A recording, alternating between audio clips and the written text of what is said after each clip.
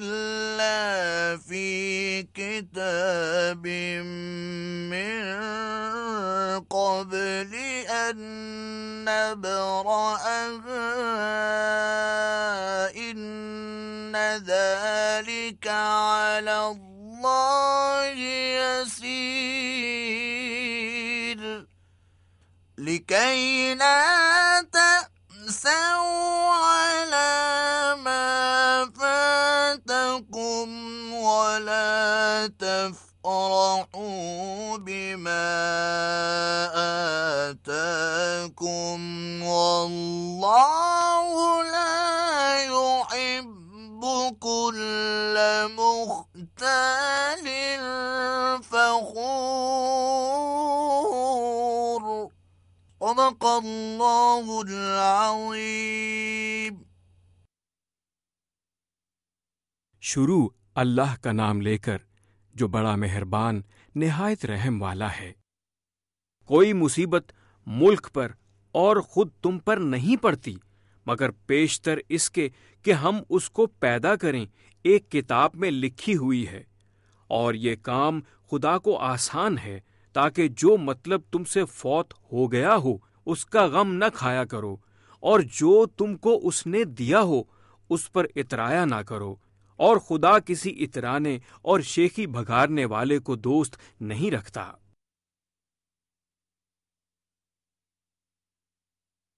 जहे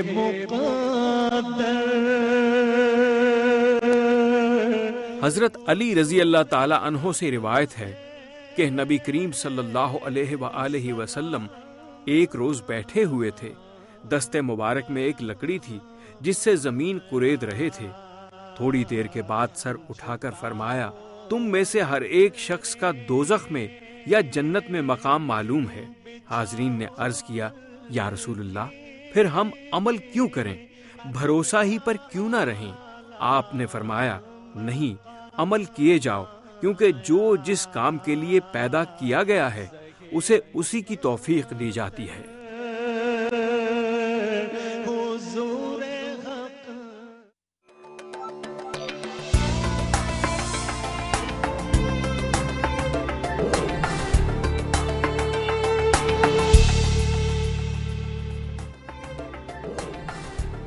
बिस्मिल्लाहिर्रहमानिर्रहीम। मोहतरम नाजरीन, अस्सलाम वालेकुम प्याम सुबह के साथ एक बार फिर आपका मेज़बान अनीक अहमद हाजिर है। प्याम सुबह में आज का मौजू, तकदीर। खातिन हजरात, आपने गौर किया होगा, अपने अतराफ में देखा होगा, बहुत सारी महफिलें आपने अटेंड की होंगी जहाँ पर तकदीर का मौजू जेर बहस आता है। बहुत सारे कन्फ्यूजन्स जन्म लेते हैं। मसलन ये कि जब हर चीज़ किस्मत में लिख दी गई है तो फिर हमें अपने, ये जो अमल है हमारा, इसका क्या फ़ायदा? जो कुछ होना है, वो किताब मुबीन में लिख दिया गया है, जैसे कि कुरान करीम इरशाद फरमाता है। खैर और शर दोनों को अल्लाह ताला ने वदीयत कर दिया। इम्मा शाकरों व इम्मा को पूरा बता दिया गया। लहा माँ कसबत व अलहा मकतसबत कुरान करीम में इरशाद फरमा दिया गया। खातिन हजरात, हमारी यूथ खास तौर पर कंफ्यूज होती है। जहन में ख्यालात आते हैं बार बार उनके। फिर वो चाहते हैं कि उन्हें कायल किया जाए, उन्हें लाजवाब ना किया जाए। आज हम तकदीर के मौजू पर बात करेंगे अपने अहद के मुमताज़ उलमा से, और उनसे ये दरियाफ्त करेंगे कि तकदीर के माना और मफाहिम, कुरान करीम और सीरत पाक सल्लल्लाहु अलैहि वसल्लम की रोशनी में क्या है? क्या दुनिया का जो भी अच्छा और बुरा काम हो रहा है, वो अल्लाह ताला की मशीयत से हो रहा है? अगर मशीयत से हो रहा है तो क्या उसमें अल्लाह की रजा भी शामिल है। खातिन हजरात, खैर अल्लाह ने तख्लीक किया, शर किसने तख्लीक किया? अल्लाह ने तख्लीक किया। तो इस शर की तख्लीक है यह काबिल तहसीन है। और शर पर अमल करना काबिल मजम्मत, ऐसा क्यों है? बहुत सारे सवाल आज गुफ्तु में आएँगे। खातिन हजरात, इससे पहले कि हम रखें सवालात और आज के मौजूद बात करें, अपने अहद के मुमताज़ कराम से क्विज रोज़ाना एक सवाल हम रखते हैं आपकी खिदमत में, जैसा कि आप जानते हैं। आप जवाब देते हैं और आपकी खिदमत में हम पेश करते हैं एक खुश नसीब को वजरिय कुरानदाजी किताबों का तोहफा दुनिया टीवी की जानब से। हमने परसों सवाल रखा था हफ़्ते के दिन आपकी खिदमत में कि मुसलमानों ने किस कौम के खिलाफ तबूक की जंग लड़ने का इरादा किया था? सही जवाब है, रूमी, रूमियों के खिलाफ जंग तबूक लड़ने का इरादा किया था। इस प्रोग्राम के आखिर में हमारे एक मेहमान पर्ची निकालेंगे और दूसरे मेहमान उस शख्स के नाम का ऐलान करेंगे। आज का सवाल समाज फरमाइए, गजब बदर में कुफार के कुल कितने आदमी मारे गए? गजब बदर में कुफार के कुल कितने आदमी मारे गए? पहला ऑप्शन साठ, दूसरा ऑप्शन सत्तर और तीसरा ऑप्शन है अस्सी। और खातन हजरात, जैसा कि आप जानते हैं कि आप बजरिए टेलीफोन बात करते हैं, अपने दुरुस्त ऑप्शन रवाना करते हैं, और बजरिए ईमेल और बजरिए एसएमएस। हमारा जो फ़ोन नंबर है वो है zero two one three four five two seven double zero nine और zero two one three four five two eight zero six one. Email address है P S at Dunya T V dot T V और आप हमें three zero three one पर S M S कर सकते हैं। खातिन हजरात तशरीफ़ फरमा है, मोहतरम मुफ्ती मुनीबुररहमान साहब। मैं तारुफ में क्या कहूँ? सिर्फ़ इतना ही काफ़ी है, मुफ्ती मुनीबुररहमान साहब। तशरीफ़ फरमाए, मोहतरम। डॉक्टर मोहसिन नकवी साहब, कौन आपसे वाकिफ नहीं? प्रोग्राम का आगाज़ हम करना चाहेंगे, मुफ्ती मुनीबुररहमान साहब मुफ्ती साहब, सिंपल सवाल आपकी खिदमत में, तकदीर के माना और मफाहिम कुरान करीम की रोशनी में क्या है? बसमीम आप इजाज़त दें तो मैं पहले बुनियादी दो मामलात की तशरीह कर दूँ। एक अमूर तकवीनिया हैं और एक अमूर तशरी हैं। तकवीन से मुराद ये है कि अल्लाह तबारक व ताली ने ये पूरी कायनात और इससे मुतक़ जिन अमूर को अपने अमर से, कुन से पैदा फरमाया, जैसे समंदरों की रवानी, हवाओं का चलना बारिश का बरसना, सूरज का तुलू होना, या इंसान का हसीन व जमील होना, या बदसूरत होना, बुलंद कामत होना, या कोताह कामत होना, गैर मामूली जहीन होना, या कुन जहन होना, उसके उम्र की दराजी या कम होना रिस्क की फराखी या तंग होना बीमारी या सेहत, ये तमाम उमूर तकवीनिया हैं और ये इंसान के इख्तियार के ताबे नहीं हैं। अल्लाह तबारक बताला के अमर से वकू पजीर होते हैं। लिहाजा, इन पर कोई जजाओ सज़ा नहीं, इन पर उखरवी नतज नहीं, इनके हवाले से मसूलियत नहीं। कि कोई बाकमाल क्यों है, कोई बेकमाल क्यों रहा, कोई साहिब जमाल क्यों हुआ, और कोई सूरत की हुसन से आरी क्यों क्यों रहा, और किसी का रिस्क कुशादा क्यों हुआ, किसी का तंग क्यों हुआ, इन अमूर पर आखिरत में जजा या सज़ा नहीं है, क्योंकि इनमें इंसान का इख्तियार नहीं है। दूसरे अमूर तशरी हैं कि जहाँ अल्लाह तबारक व ताली ने इंसान को अक्ल भी अता किया शूर भी अता किया, खैर व शर्म में तमीज़ की सलाहियत, उसके बातिन और नफ्स में भी वदियत की, खारिज में भी हिदायत के इंतज़ाम किताब और अम्बिया कराम के ज़रिए अल्लाह ताला ने अपनी हिकमत से कायम फरमाए और इसमें उसको ये इख्तियार दिया कि अब अपने ऑप्शन से वो खैर को इख्तियार करे या शर को इख्तियार करे। इस पर जजा है इस पर सज़ा है इस पर मसूलियत है इस पर जवाबदेही है। यानी लहा मा कसबत वालेहा मकतसबत। मकतसबत। अच्छा। अच्छा इसमें जो कन्फ्यूज़न है वो ये है कि कुरान मजीद में कि हुल्लज़ी खलक़कुम वमा तामलून, कि अल्लाह ही ने तुम्हें पैदा किया और वही तुम्हारे आमाल का खालिक है।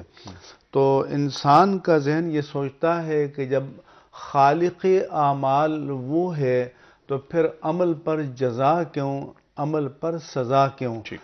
तो खालिक आमाल के हो माना ये है कि इंसान के अंदर एक पोटेंशल एक बिलकुवा, इस्तेदाद, एक सलाहियत पैदा कर दी कि वो अपने ऑप्शन से खैर की तरफ़ चले या बातिल की बातिल की तरफ़ चले, ये तो अल्लाह ताला की तरफ़ से है, लेकिन कसब और फेल करना ये बंदे के इख्तियार में है। मैं जबर की मिसाल यूँ दूँगा कि जैसे माँ बाप बच्चे को पकड़कर स्कूल की तरफ़ ले जाते हैं वो मौका मिलते ही भाग जाता है खेल के मैदान की तरफ़ किसी और तरफ़ फिर वो घेर घार के उसको ले जाते हैं। यहाँ तक के स्कूल के दरवाजे के अंदर दाखिल कर देते हैं। ये सूरत जबर है। लेकिन यहाँ अमली ज़िंदगी में नहीं होता कि कोई पब की तरफ़ जा रहा हो सिनेमा की तरफ़ जा रहा हो शराब और जुए के अड्डे की तरफ़ जा रहा हो और कोई गैबी ताकत उसका हाथ पकड़ कर मस्जिद में ले जाकर दाखिल कर दे या कोई महसूस क़वत उसे वहाँ से रोक कर किसी खैर की महफिल महफिल में जाकर बिठा दे तो ये इख्तियार है और इस कदर और इख्तियार के दरमियान जो फ़र्क है वो है। बहुत खफीफ है लतीफ़ है अलतफ़ है अखफ है इसको समझने की ज़रूरत है।, है। अब यहाँ पर बहुत सारी बातें सामने आ सकती हैं आपकी गुफ्तु से खैर और शर की बात की वगैरह वगैरह। युदिल्लो बही कसीरों व यादी बही कसीर अभी कुरान करीम इशार फरमाता है अल्लाह ताला। लेकिन हम यानी जिसे हम चाहते हैं गुमराह करते हैं जिसे चाहते हैं हम रास्ता बताते हैं। इस पर भी हम बात करेंगे फिर आपने तकवीनी जो बात की है उस पर हम बात करना चाहते हैं मोहसिन नकवी साहब मुफ्ती साहबी की बात को आगे बढ़ा देते हैं। वह खला का कुल्ला शैन फ़कत दरहू तकदीरा कुरान करीम इरशाद फरमाता है कि हमने हर चीज़ जो पैदा की, उनकी एक ख़ास तकदीर मुकर कर दी। फिर जो आप बात फरमाते हैं कि तकवीनी मामला में और फिर तशरी मामला कि लहा माँ का सबत वाले हम अक्तसबत दोनों के माबेन क्या फ़र्क है? जो तकदीर का बुनियादी तस्वुर है, उस पर मुफ्ती साहब ने गुफ्तु फरमाई। आ, इसको एक और पहलू से भी देखा जा सकता है। और वो ख़ास तौर पे असल में तकदीर का जो मसला है वो ज़्यादा तशरी उमूर में लोगों के जहन में कम सवाल हैं तकवीनी उमूर में ज़्यादा सवाल हैं। अच्छा। हाँ जैसे यही है कि भाई हम मजबूर हैं और जब हम मजबूर हैं महज हैं गुनाह करने पे मजबूर हैं जबर कदर का जो मसला आता है हाँ। दूसरी चीज़ें आती हैं तो फिर हमें उसके ऊपर जजा सज़ा क्यों दी जाती है वो? देखिए, ऐसा है कि अल्लाह ताला का जो तकवीनी निज़ाम है, उसमें हर निज़ाम में उसके अंदर एक जैली निज़ाम निज़ाम जो है, वो भी चलते हैं। अब वो जैली निज़ाम जो उसमें चलते हैं तो उसमें इंसान का अपना बाज़ अवत इख्तियार होता है, बाज़ चीज़ों में उसका इख्तियार नहीं होता। जैसे उसको एक मरज़ हो गया, ठीक है? अब मरज़ जो उसको हो गया तो वो तो तकवीनी एक अमर है कि अल्लाह ताला ने उसको पैदा कर दिया उसमें मरज़। उसमें उसका कोई इख्तियार नहीं था। लेकिन अब उस मरज़ की जो मैनेजमेंट है कि वो ठीक कैसे होगा, ये भी एक तकदीर है, और वो ठीक नहीं होगा, बिगड़ेगा, ये भी एक तकदीर है। या बाज़ अमराज हैं, वो नाकबिल इलाज हैं उस कब तक इलाज दरियाफ्त नहीं हुआ। अल्लाह ताला ने तो हर शय का इलाज रखा, लेकिन इंसानी इल्म की और तजर्बे की भी लिमिट है कोई। तो अब ये उसका जो इख्तियार है, मरज़ पैदा करने में उसका इख्तियार नहीं है, लेकिन मरज़ की मैनेजमेंट के किन उमूर से वो ठीक होगा, किन उमूर को इख्तियार करने से या छोड़ देने से वो ख़राब होगा? ये भी बुनियादी तौर पर तकदीर ही है। यानी अल्लाह ताला ने चीज़ों में शिफा रखी है, दवाओं में शिफा रखी है वो। जब हम उसे इख्तियार करते हैं तो उस तकदीर के असरात मुरतब होते हैं और मरज़ ठीक होना शुरू हो जाता है। और अगर हम उसको नज़रअंदाज करते हैं और ये हम कह दें कि जनाब सब के सब अल्लाह के हाथ में वो चाहेगा तो शिफा दे देगा बगैर सबब के और नहीं चाहेगा तो नहीं देगा। हाँ वो ऐसा भी कर सकता है। क्योंकि उसने निज़ाम ये बनाया है कि ये दो आपके लिए पैराडाइम दे दिए। इसमें इख्तियार आपके पास है कि आप अपना इलाज करें या अपना इलाज ठीक है। ये आप डॉक्टर की फरमाइए कि इंसान मजबूर है महज जैसे कि आपने लफ इस्तेमाल किया कहाँ तक मजबूर है और कहाँ तक उसे इख्तियार है? जहाँ तक तकवीन का ताल्लुक है निज़ामों के बना देने का ताल्लुक है तो उसमें तो वो मजबूर महज है वो कुछ भी नहीं कर सकता। लेकिन जहाँ उन निज़ामों को इख्तियार करने का ताल्लुक है कि उसमें आप किस उस पर जाते हैं इसको इख्तियार करते हैं सूरत को या उस सूरत को इख्तियार करते हैं वो इंसान के इख्तियार में। ठीक है। अब इस जैसे अल्लामा साहब ने एक मरस का हवाला दिया तो सहाबी ने रसूलुल्लाह सल्लल्लाहु अलैहि वसल्लम से दरियाफ्त किया कि, या रसूल अल्लाह जब सब कुछ तय है तो फिर हम इलाज के लिए कुछ दम दरूद करते हैं, न तदावी दवान, हम कुछ मेडिसन इस्तेमाल करते हैं, या न तकी तुका, या हम कभी परहेज करते हैं तो इसकी क्या ज़रूरत? फरमाया कि ये भी तकदीर का हिस्सा है। तो ये बुनियादी और चीज़ है जिसको समझने की ज़रूरत है। फिर आपने फरमाया कि फ़कुल्ल मुयसर लिमा खुलिक लहू। तो हर आदमी जिसके लिए पैदा किया गया है उसके लिए राहें आसान कर दी जाती हैं बशर्ते कि उन राहों पर चले। जैसे कुरान फरमा के अम्मा मनतका व सद्दक़ बिलहसना फ़सन यसरहूलयसरा कि जो तकवे को इख्तियार करे और हुसना की तस्दीक करे तो उसके लिए फिर हम युसरा की राहों को आसान कर देंगे। व अम्मा मम बखिला, वस्तगना, व कस व बिलहसना, फ़न यसरहूलसरा जो बुखल करेगा और बेनियाज हो जाएगा मालिक से। और ये समझेगा कि दौलत है, मुझे किस चीज़ की परवाह है और हुसना की तकजीब करेगा तो फिर जो शर का रास्ता है उसके लिए आसान हो जाएगा। तो ये ज़रूर कहा कि हुल्लज़ी खलाकुम वमा तामलून, उसने तुम्हें भी पैदा किया और तुम्हारे अफ़ाल को भी। चुनाचे गजब उहद में जब बहुत सारे मुसलमान शहीद हुए तो मुनाफिकीन ने कहा कि लो कान लना मिन अम्र मिनल अम्र शैन माँ कुतिलना हा होना। अगर हमारा हमारी बात मानी जाती, अगर फैसलों में हमारा भी कोई अमल दखल होता तो हम यहाँ न मारे जाते। हमने रुकने के लिए कहा था, मैदान में न आते। तो अल्लाह ताला ने फरमाया कि जिसके लिए मौत लिख दी गई है लबरजू इला मदाजहिम, वो चलकर अपने मक्तल की तरफ़ आते।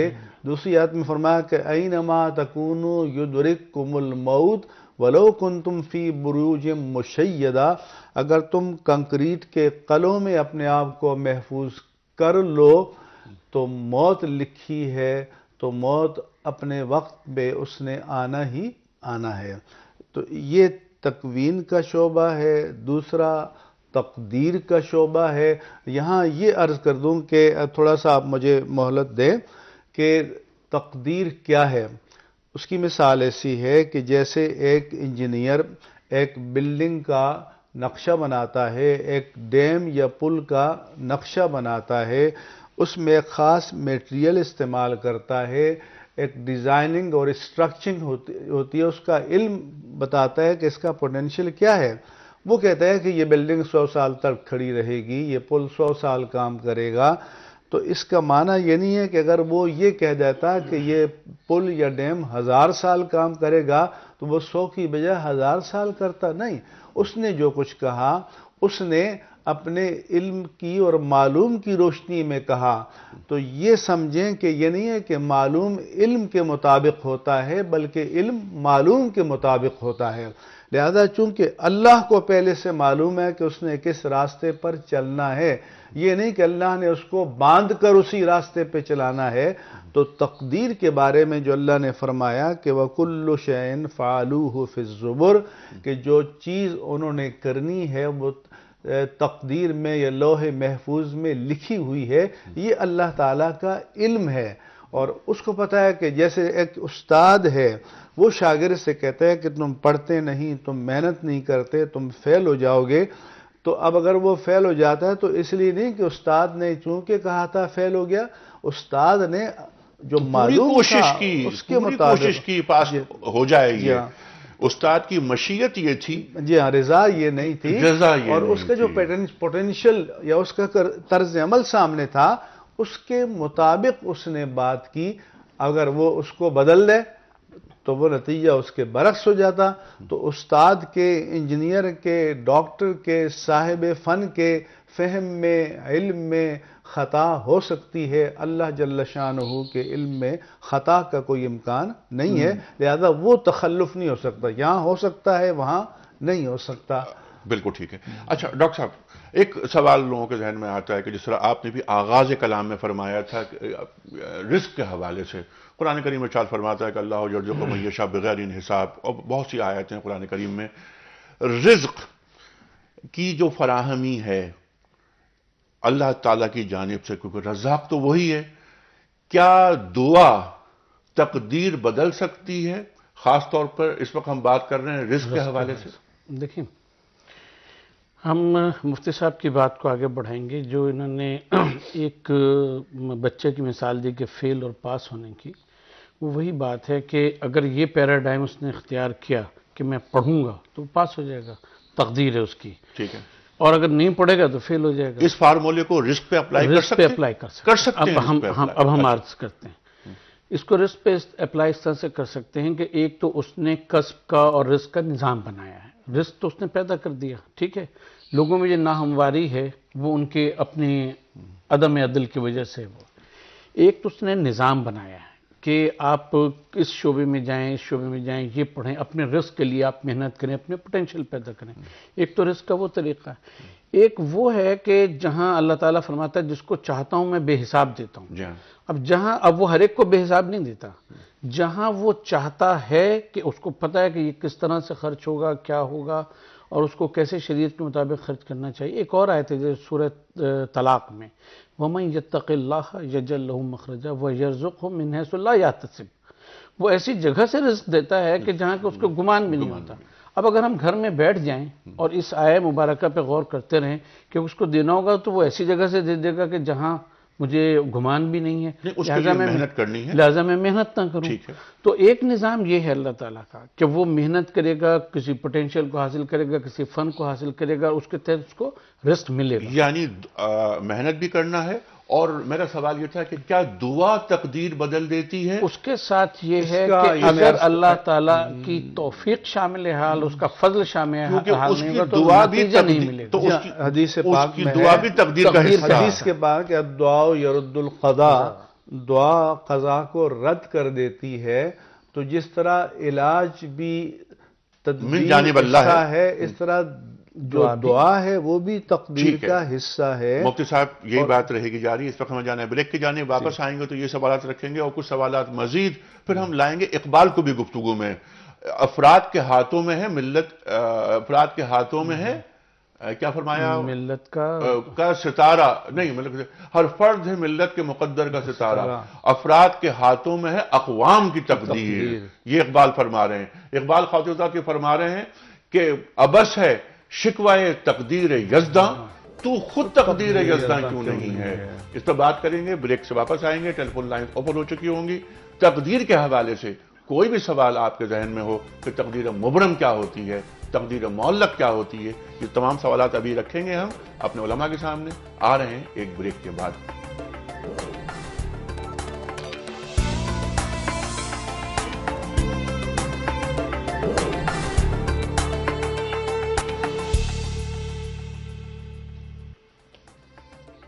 वेलकम बैक खवातीन हजरात प्याम सुबह में एक बार फिर खुश आमदेद तशरीफ़ फरमाए मोहतरम मुफ्ती मुनीबुररहमान साहब और मोहतरम डॉक्टर मोहसिन नकवी साहब प्याम सुबह में आज का मौजूद तकदीर खातिन हजरात बहुत सारी गुफ्तु हो चुकी है और बहुत सारी गुफ्तु होनी बाकी है टेलीफोन लाइन हमारी ओपन हो चुकी हैं आपके सवाल कराम के जवाब आज का कोई सवाल मैं रखता हूँ दोबारा आपकी खिदमत में कि आज हमने क्या पूछा है आपसे आज का सवाल यह है कि गजब बदर में कुफ्फार के कुल कितने लोग मारे गए?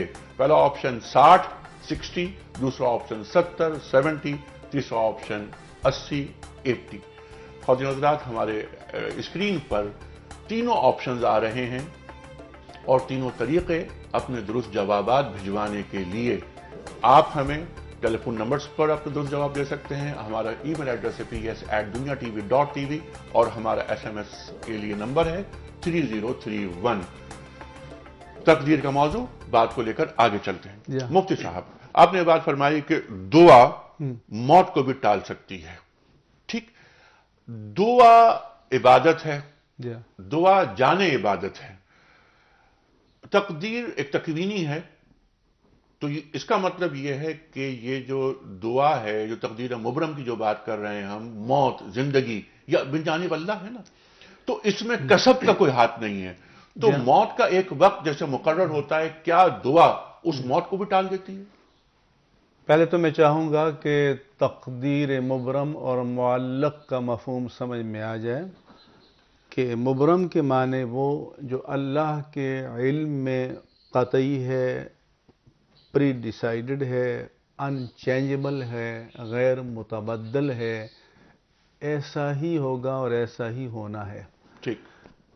मुअल्लक के माने ये हैं कि हम चल रहे एक मंजिल की तरफ़ और रास्ते में कहीं हमें कोई सोर्स मिल गया, कोई हालात साजगार हो गए, वो मंजिल जो बहुत दूर नज़र आ रही थी, वो करीब हो गई।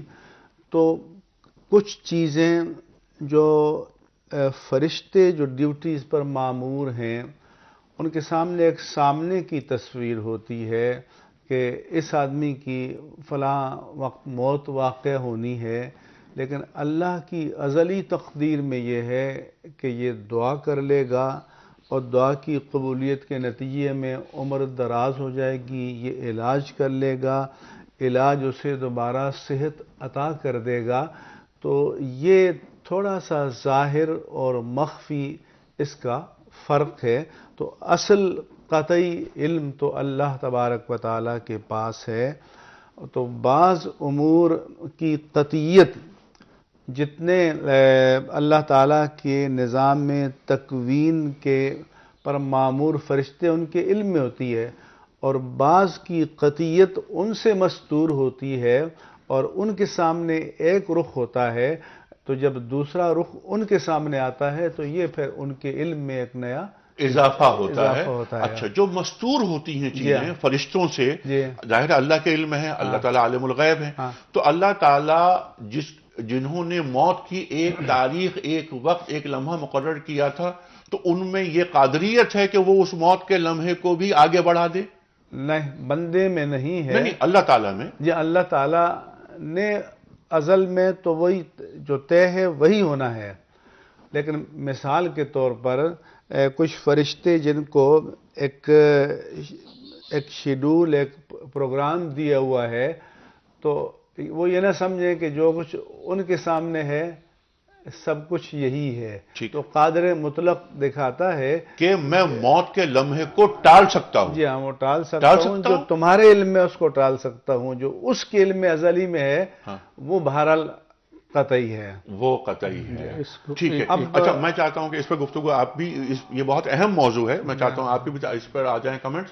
आ, कुछ कॉज ले लेते हैं क्योंकि लोग इंतज़ार कर रहे हैं। जी खजीना अस्सलाम वालेकुम। वालेकुम अस्सलाम कैसे हैं भैया अल्लाह का बड़ा करम हमेशा की तरह आज भी बहुत अच्छा टॉपिक बहुत अच्छी जो मौजू रखा है आपने बहुत ज़बरदस्त। और ये कहना चाहूँगी भाई कि मैं ये पूछना चाह रही थी तकदीर के हवाले से कि बहुत से लोग ये कहते हैं कि तदबीर से तकदीर बदली जा सकती जी, है। तो मुझे इस, का जवाब चाहिए उलमा इकराम से कि वो किस तरह से अगर तदबीर से तकदीर बदली जा सकती है तो किस तरह से बदली जा सकती है।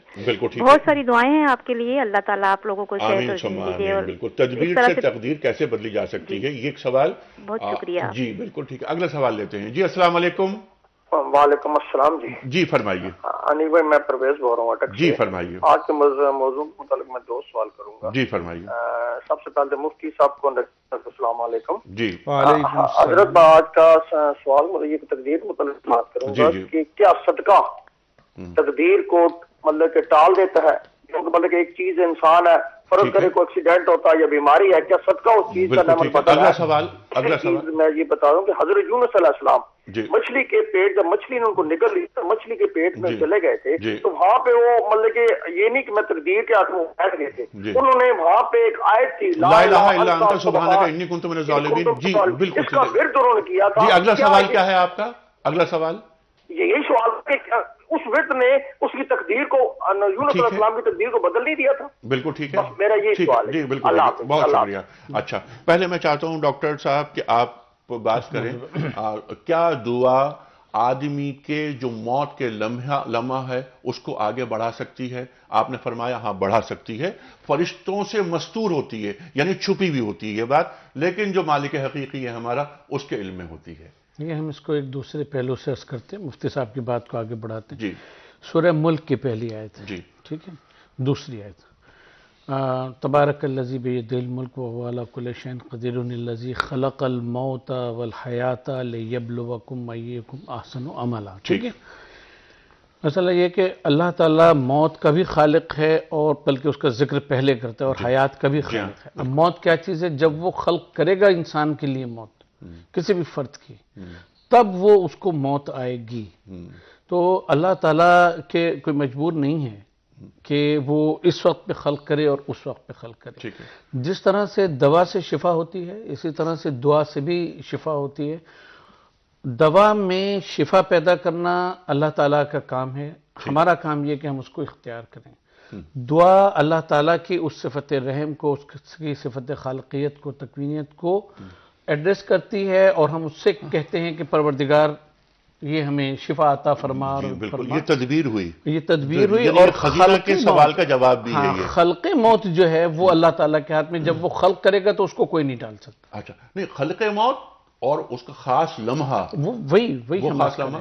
ये एक उनके सवाल का जवाब ये है कि अदुआओ यरुद्दुल कदा और दूसरा जो कहा कि सदका तो यरुद्दुल कदा तो आम आदमी या किसी फरिश्ते के सामने इस दवा या दुआ को इख्तियार करने से पहले की जो फाइनल सूरत हाल है वो होती है लेकिन खालिक के सामने इस सदक़े को अल्लाह की बारगाह में देने या दुआ को करने के बाद जो कतई सूरत हाल है वो होती है ये बीच का मरहला तालीक़ है बीच का मरहला तदबीर है बीच का मरहला असबाब को इख्तियार करना है। यकीनन। और ये इसलिए फरमाया कि बंदा असबाब को तर्क न करे क्या खबर कि कोई दुआ सही निशाने पर लगे कोई सदका सही नतीजा खैस साबित हो जाए तो अमल का सिलसिला किसी मरहले पर तर्क नहीं करना और चाहिए। मायूसी का शिकार नहीं, नहीं होना ला चाहिए हाँ। ठीक है कुरान करीम इरशाद फरमाता है। कुछ सवाल ले लेते हैं मस्जिद। जी अस्सलाम वालेकुम अनवार साहब। वालेकुम अस्सलाम सर मेरा क्वेश्चन ये है जी। मुफ्ती मुनीब साहब ने अभी फरमाया कि तकदीर अटल में रिजक भी है। जी। तो मैं ये कहता हूँ कि तकदीर अटल एक चीज़ है तकदीर मोल्लक जो है वो दूसरी चीज़ है। जी। तो क्या ये रिजक तकदीर मोल्लक में नहीं आ रहा कि एक बंदा मेहनत करेगा तो उसे रिजक मिलेगा? आ, बिल्कुल इस पर अखर वजाहत से तो बात फरमा दी थी मुफ्ती साहब ने लेकिन दोबारा हम सवाल रखेंगे। अगला सवाल रख ले लेते हैं। जी अस्सलाम वालेकुम। हेलो। वालेकुम अस्सलाम सर मैं वैस बात कर रहा हूँ लाहौर से। जी ओवैस साहब। सर मुझे पता करना था कि क्या वाकई दुआ तकदीर बदल सकती है? मुझे हाँ या ना में जवाब दीजिए। जी, आ, जी तो आपने अभी अगर प्रोग्राम सुना हो तो मुफ्ती साहब ने और डॉक्टर मोहसिन नकवी साहब ने यही फरमाया कि दुआ तकदीर बदल सकती है क्योंकि तकदीर में अगर एक बल्कि मेरा यह मनसब नहीं कि मैं बयान करूँ दोबारा आप हजरात फरमा दीजिए। मेरे अज़ीज़, आपके जहन में ये सवाल यकीनन पैदा होता होगा कि जब हुजूर ने फरमा दिया कि दुआ तकदीर को टाल सकती है तो आपने मैंने दुआ कर ली, बड़ा कारनामा अंजाम दिया, एहसान कर लिया, क्यों नहीं टली? तो जिस तरह तकवीनी असबाब में दवा ज़रिया है, लेकिन हर दवा नतीजा खेज नहीं होती इस तरह तशरी और तकदीरी इसबाब में सदका और दुआ ज़रिया हैं लेकिन कौन सा सदका नतीजा खेज होगा कौन सी दुआ तकदीर को टाल देगी ये कत इल्म अल्लाह ताला के पास है। इसके बारे में मखलूक में से कोई ये तय नहीं कर सकता कि वो ये कहे जी बस ये आप कर दें और कल सुबह आपका नतीजा मुख्तलिफ़ होगा। जी हाँ, हाँ तो इस पर हमें फिर अल्लाह की ज़ात पर ईमान रखना होगा। असबाब तर्क नहीं करने नतीजा मुसबुल असबाब पे छोड़ देना है। हाँ। ठीक है? और दुआ करते चले जाना है दवा करते चले जाना है अमल करते चले जाना है बस बंदगी और ईमान बेतकदीर इसी का नाम है। बिल्कुल और ये तो बार बार हमसे यानी अल्लाह ताला अपने बंदों से तलब कर रहा है कि मुझसे मांगा करो मुझसे दुआ करो मुझे मांगना अच्छा लगता है कि जब मुझसे कोई मांगा जा माँगता है कुछ। अफराद के हाथों में है अकवाम की तकदीर। हर फर्द है मिल्लत के मुकद्दर का सितारा। निगाह मर्द मोमिन से बदल जाती हैं तकदीरें। ये इकबाल फरमा रहे हैं। ये निगाह मर्द मोमिन से तकदीरें कैसे बदल जाती हैं? और हर फर्द मिल्लत के मुकद्दर का सितारा कैसे बन जाता है? इकबाल क्यों कह रहे हैं ये बात? बसमीम देखें मसला ये है कि अल्लामा इकबाल के सामने जो उस वक्त के मुस्लिम दुनिया के बिलूम और बर सग़ीर के बिलखसूस जो मामला थे तो अलामा इकबाल बुनियादी तौर के ऊपर उसको सामने रख के और इनफरादी और इज्तमी जिम्मेदारियों की तरफ़ बुनियादी तौर पर इशारा करना ठीक है। अच्छा मैं चाहता हूँ क्योंकि तवील गुफ्तु आप करेंगे। अमेरिका से एक साहब हैं बहुत देर से वेट कर रहे हैं वो कह रहे हैं कि मुझे मेरी कॉल ले लें। तो आपकी इजाज़त है ले लें? जी बशीर साहब असलम वालेकुम जी बशीर साहब फरमाइए। जी फरमाइए आप और सवाल ये था कि जी। जी आप, जी आप जरा टीवी अपना बंद कर दीजिए। आप अमेरिका से बोल रहे हैं? जी। जी। जी सर। जी फरमाइए फरमाइए। मेरा सवाल ये था कि मतलब अल्लाह का नाम तो अल्लाह का नाम है जो कुरान शरीफ में हदीसों में है सब किताबों में है जो अल्लाह की तरफ़ नाजिल हुए मुझे ये जो हम लोग बोलते हैं खुदा भी बोल लेते थे खुदा का नाम अल्लाह के नाम से कैसे रखा गया या किस रखा या किस किस तरह ये ये अच्छा सवाल है बहुत अच्छा सवाल। मुफ्ती साहब जरा सा जवाब दे दीजिए मुख्तसरन ताकि फिर वो गुफ्तु इकबाल पे हम शुरू करें। अल्लाह तबारक व ताली, ये अल्लाह ताला का इसम ज़ात है, ये इसम आलम है। इसके अलावा कुरान ही में अल्लाह के असमाय सिफ़ात हैं, अर्रहमान, अर्रहीम, अलजब्बार असत्तार लेकिन हमारे उलमा ने कहा कि मुख्तलिफ़ ज़बानों में अल्लाह तबारक व ताली की हस्ती को ताबीर करने के लिए मुसलमा तौर पर जो असमा इख्तियार किए गए हैं जिन के सुनते ही ताज़ीम और खालिकियत की तरफ़ जहन जाए चाहे उसको गॉड कहें या खुदा कहें तुर्की में तनकरी कहें या फारसी और उर्दू में खुदा कहें ये जायज़ है और ये दुरुस्त है इसमें कोई शरी कबाहत नहीं, नहीं है, है। लेकिन वहाँ पर शायद उनके जहन में ये बात आई कंफ्यूजन ये है कि ईरान में जैसे कि आपने फरमाया कि वहाँ अहरमन और जज्दा एक नेकी का खुदा एक बदी का खुदा। हाँ, वो वो, वो तस्वुर हमारे अल्लाह ताला जो है वो उसमें अहदियत है तादुद नहीं है सनवियत नहीं है तकसीम नहीं है। तो जितने असमा आएँगे वो एक अहद के ही असमा होंगे। ठीक है। डॉक्टर साहब आपकी बात। अच्छा अब उसमें ये है बुनियादी तौर के ऊपर कि जो कौमों का जवाल होता है या कौमों का उरूज होता है, उसमें अफराद जो हैं, उनकी तरबियत, उनकी तालीम, उनका मौाक़े को समझना, उसके मुताबिक अमल करना, क्योंकि कौम जो है वो अफराद से बनती है। और अफराद का जो जहन होगा, जैसा उनका मिजाज होगा, उसके मुताबिक फिर अगर गुलामाना जहनीत होगी तो वो फिर कभी भी लीड करने के लिए नहीं सोचेंगे। अलामा इकबाल वहाँ से निकाल के बताना चाह रहे हैं कि असल में तो कौमों की तकदीर और कहना चाहिए कि ख़ासतौर पर मुसलमानों को ये रोल दिया गया था कि वो दुनिया की कौमों को लीड करें। अब ख़ुद इनफरादी तौर पे और इज्तमाही तौर पे कौमों हमारी मिलत इस्लामिया ने ख़ास तौर पे बर सग़ीर की मिलत ने, क्योंकि ये ग़ुलामी का एक दौर गुजारा है और जहनीत जो है वो उस तरफ़ चलती चली गई है। तो अब ये है कि इनफरादी तौर के ऊपर भी और इज्तमाही तौर पर यानी लीडर्स को भी उस गुलामी की जहनीत से निकलना होगा अफराद को भी निकलना होगा इस तरह से मिनहसिल कौम वो इससे बाहर निकल के और फिर लीड कर सके और किसकी गुलामी में आना होगा?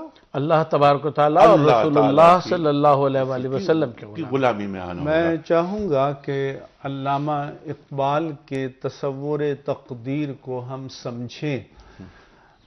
जैसे आपने फरमाया कि वो कहते हैं कि हर फर्द है मिल्लत के मुक़द्दर का सितारा। वो ये भी फरमाते हैं कि सितारा तरी तकदीर की खबर क्या देगा? वो है ख़ुद गर्दिश अफलाक में ख्वार ज़बू आज हम तकदीरें सितारों में तलाश करते हैं वो कहते हैं कि तकदीर तो ये है कि सितारों को महकूम बना दो। सितारों से तुम हाकिमियत तलाश करने किधर जा रहे हो?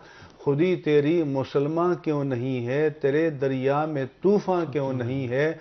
अबस है शिकवे तकदीर यजदा तो खुद, खुद तकदीर यजदा क्यों नहीं है? तो वो इस तकदीर से मुराद जो है जिद्दोजहद साई अमल अल्लाह ताला की ज़ात पर ईमान तो अल्लाह, अल्लाह की गुलामी। ने जिन चीज़ों को इंसान के कसब और मेहनत पर मौकूफ़ किया है तुम में वो आगे बढ़ने का एक सैलाब बलाखेज होना चाहिए। जी। तुम ये बैठ के सोच जाओ कि ठीक है जी अब तकदीर है। अल्लाह के इरादों की अमली तफसीर होना चाहिए। बिल्कुल होना जिसमें आपने फरमाया कि ये सितारों की बात की। खुदा बंदे से खुद, खुद पूछे कि बता तेरी रजा। क्या है? अच्छा तो उरूज आदम खाकी से अंजुम सहमे जाते हैं हाँ। कि ये टूटा हुआ तारा महे कामिल ना बन, जाए, जाए। तो ये अच्छा बल्कि इकबाल तो यहाँ तक कहते हैं कि इंसान जब अल्लाह की गुलामी में आता है तो अल्लाह ताला का को वर्कर हो जाता है हमकार हो जाता है।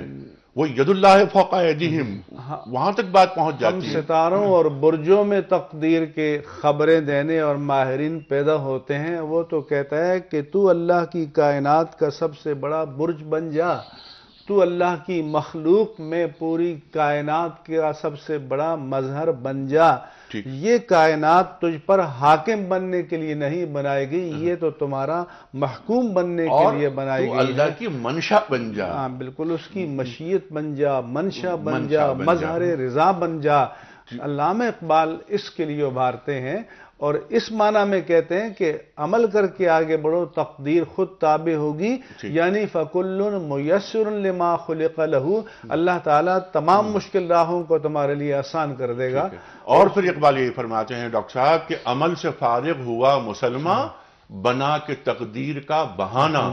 तो तकदीर का बहाना नहीं जो जो मुसलसल असबाब का भरपूर इख्तियार नतीजा मौसम असबाब पर। ये तकदीर मोहम्मद ये सामने रहे। ये तकदीर का इलाहादी तस्वर है। ये तकदीर का एक मुलहिदाना तस्वुर है। ये तकदीर का मुनकराना तस्वुर है। इसीलिए हदीस पाक में फरमाया कि जो इस तरह के मुकदरीन जो तकदीर को जबर के माना में लेते हैं वो इस उम्मत के मजूस हैं। और उनसे तो फरमाया कि ताल्लुक तोड़ दो। ताल्लुक तोड़ दो क्योंकि ये उम्मत को नफसियाती तौर पर गुलाम बना रहे हैं। बेअमली की तरफ़ जो बेअमली की तरफ़। और अगर बंदा गुलाम है तो सिर्फ़ अल्लाह का गुलाम हाँ, जैसे आजकल बहुत से लोग मैं पढ़ता हूँ कि अमेरिका के सामने खड़े होने का तस्वुर न करो। करोगे तो पाश पाश हो जाओगे। तुम ये नहीं जानते कि उसको ताकत किसने दी जो उसको दे सकता है तुम्हें उससे ज़्यादा दे सकता है। मुफ्ती साहब आपने बहुत अच्छी बात फरमाई। हाँ। खुद एतमादी की बात की आपने यही एतमाद कौम को फराहम करना है कि हमारे हालात हमेशा ऐसे नहीं थे। हाँ। हम ताकत रखते थे। हम ये जहनी गुलाम जो मरूबियत में चल रहे हैं इस वक्त हाँ। उसकी वजह कुछ टाउट्स हैं कुछ उनके नुमाइंदे हैं जो अपनी गुलामी को तवील यानी ये कि जिस पर इकबाल ही फिर याद आते हैं कि इकबाल का शेर मुझे अभी याद आ रहा है कि उम्मीद क्या हो सियासत के पेशवाओं से हाँ। ये खाक बाज हैं हाँ। रखते हैं खाक से पैबंद पैबंद वो तंज करते हैं दुआ के तस्वर को कि जी हम करें उनके टैंकों में कीड़े पड़ जाएँ रॉकेट जो हैं वो रेजा रेजा हो जाएँ फलां चीज़ जो है वो ये हो जाए ये किसने दुआ का ये तस्वर बताया? कुरान करीम? फरमाता है मस्ततातुम मिन कुवा कुरान तो ये बताता है कि वल आदियात दबहन फल मूरियात कदहन फल सुभान अल्लाह, मुगीरात सुभान सुबहन फअसरन भी नकन फवसतन भी जमा।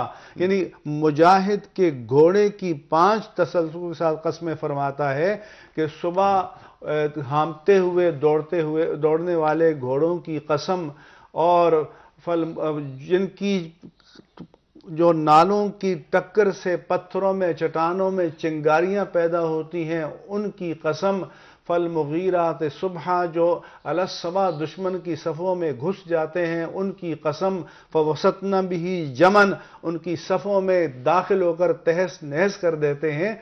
तो जो खुदा मुजाहिद के घोड़े की इतनी सिफात की कसम फरमाए मुजाहिद का क्या मकाम फिर मुजाहिद उस मुजाहिद की दुआ तकदीर बदल देती वो तकदीर बदलती है लेकिन और उसका उसकी रजा अल्लाह की रजा बन जाती घोड़ा है लेकर उसका तो- हाथ अल्लाह का हाथ बन जाता है। घोड़ा लेकर चलना तो पड़ेगा उसे। तो हाँ घोड़ा लेकर चलना पड़ेगा तो आज करना पड़ेगा। आज का जो घोड़ा आज के जो असबाब हैं उनको इख्तियार करना तो तुम पर फ़र्ज़ और लाजिम और वाजिब है। दीन को मतलूब है। हाँ। डॉक्टर साहब मैं माफ़ी चाहता हूँ। मुबी- मुनीब साहब क्योंकि बहुत शानदार गुफ्तगु फरमा रहे थे तो मैं चाह रहा था कि कुछ आपके रिमार्क्स लूँ लेकिन वक्त खत्म हो गया। मैं डिस्टर्ब करना मुनासिब नहीं समझा। एक पर्ची आप निकालिए। मुफ्ती साहब भी वही कह रहे थे जो हम कहना चाह रहे थे। क्या कह रहे हैं? असल बात तो ये है कि दीन की सही ताबीर जो है वो लोगों तक पहुँचे। क्या कहने सुबह अल्लाह। जी मुनीब ये रहमान साहब। माशाअल्लाह मियाँ निसार हुसैन साहब शेखुपुरा से। मियाँ निसार हुसैन साहब शेखुपुरा से खातिन हजरात। आज का जो कुरानदाजी हुई वो खुश नसीब है मियाँ निसार हुसैन साहब। उनकी खिदमत में गिफ्ट पर रवाना किया जा रहा है। मैं बड़ा ममनून मुफ्ती साहब का बड़ा ममनून बड़ा शुक्रगुजार डॉक्टर मोहसिन नकवी साहब का। तकदीर जैसे मौजू को बहुत सहल बनाकर आपने हमारे सामने और हमारी ना- की समातों की नज़र किया। इसलिए कि हम ये चाहते हैं कि हम सब में और खासतौर पर हमारी यूथ में दीन के ताल्लुक से कोई कंफ्यूजन ना रहे। गुत्थियों को सुलझाना चाहिए और जब आप जैसे उलमा तशरीफ़ लाते हैं तो मसले का हल यूँ निकलता है और अहद के लम्स के साथ। खातिन यही इस प्रोग्राम का मकसद है और यही प्याम सुबह है। कल हम हाजिर होंगे, तशरीफ़ फरमा होंगे हमारे साथ मुफ्ती नजीर साहब और डॉक्टर मोहसिन नकवी साहब और कल का मौजू होगा हिदायत। हिदायत किसे कहते हैं? वो हिदायत होती है जो अल्लाह की तरफ़ से आए, उसके अलावा कोई हिदायत नहीं है। कुरान करीम को अल्लाह ताला ने हुदल्लिन्नास कहा, इस पर हम बात करेंगे। हिदायत में तरक्की कैसे आती है? अल्लाह ताला किनको हिदायत देता है? कौन हिदायत याफ्ता है? अल्लाह की नज़र में। खातिन तफसीली गुफ्तु कल होगी। कल तक के लिए अपने मेजबान अनीक अहमद को इजाज़त दीजिए। खुदा हाफिज।